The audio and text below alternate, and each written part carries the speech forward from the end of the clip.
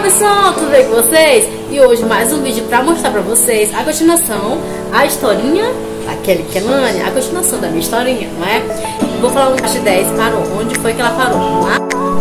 Então, capítulo 10, a parte 10 parou em que Maria tem o seu primeiro dia de aula na faculdade, onde ela já está cursando música e faz novos amigos. E um deles, ela conhece Estefânia, que será a sua melhor amiga. E ela irá fazer Maria conhecer o seu primeiro amor. Gente, tem muita coisa pra contar, tá? Porque é uma história que tem momentos legais. Vai ser muito boa essa historinha, tá?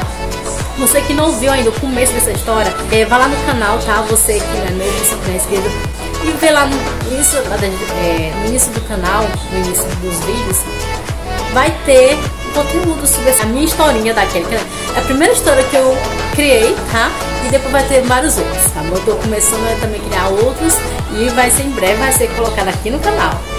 Gente, vocês ficam perguntando que historinha é essa, né? O nome da minha historinha é a historinha de Maria e Mauro. Vamos lá, gente, agora cheio de enrolação, vamos contar agora a parte, décima primeira parte. A continuação da historinha da Kelly Kelani. Maria e Mauro Décima primeira parte.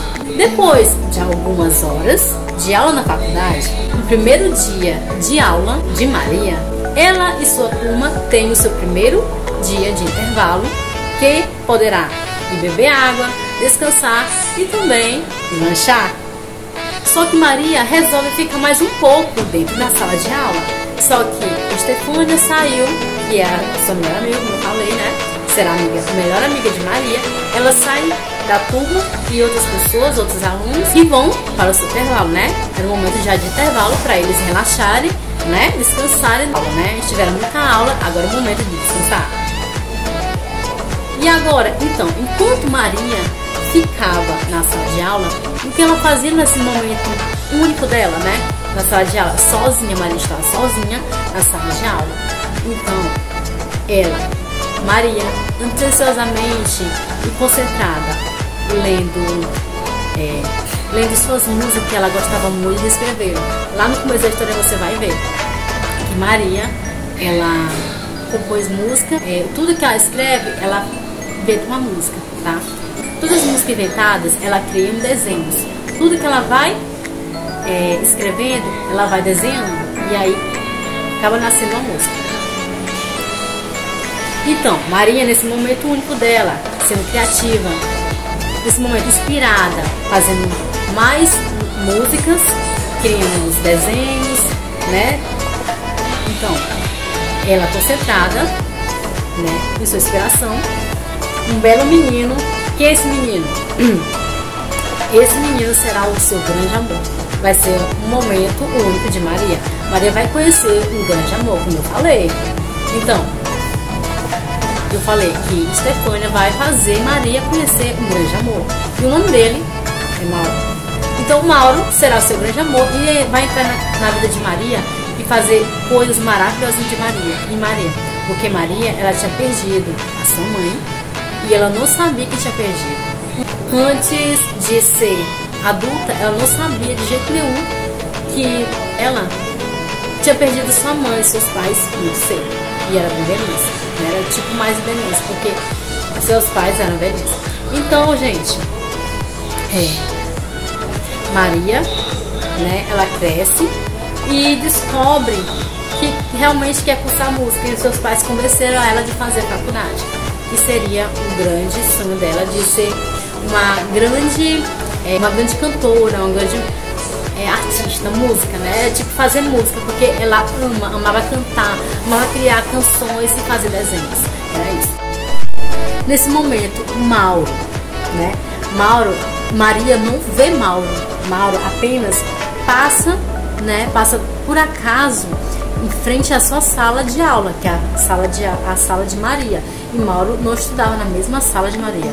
Ele era, ele era sala vizinha de Maria e a Maria não sabia desse menino, não tinha visto ainda esse menino. Era o primeiro dia de aula de Maria, né? Cursando na faculdade. Então, Mauro passa na frente na sala de aula de Maria, Maria concentrada não vê ele. E o que acontece? Mauro fica deslumbrado, vê só tanta beleza de Maria. Porque Maria, com certeza, era muito linda. E a Maria, né? Mega linda. Ele viu isso, viu isso nela, porque ela era é, uma menina concentrada, bonita e de ótimo humor, muito feliz, muito alegre. Então, Mauro não sabia disso, de as características de personalidade de Maria, mas em só ver ela, ele sentiu isso, né? Então a gente é isso, tá? Mauro passa na frente da cidade de Maria, Maria não vê, não, não nota de jeito nenhum sobre esse momento, né? Então, Mauro vai ficar pensando muito em Maria. Então, Mauro será seu grande amor e vai entrar na, na vida de Maria e fazer coisas maravilhosas de Maria. E para você saber mais das novidades, o que vai acontecer nas, na minha historinha, é só você acompanhar o canal e aí vai ter mais historinha. Gente, é isso aí, eu vou ficando por aqui. Espero é, ver você em breve, tá? No próximo vídeo, no próximo capítulo desta história, Maria e Mauro. Então, gente, você fica por dentro, tá? Segue aí, curte aí e comenta o que você achou até nesse momento dessa história, essa capítulo de agora que você não sabia dessa minha história, né? Você agora pode clicar, pode é, entrar aí no canal, tá bom? Dá uma olhadinha e veja lá as historinhas no começo, tá bom? Então, gente, tchau, tchau. Fique com Deus. Até o próximo vídeo, até o próximo capítulo. Até a próxima parte. Décima segunda parte.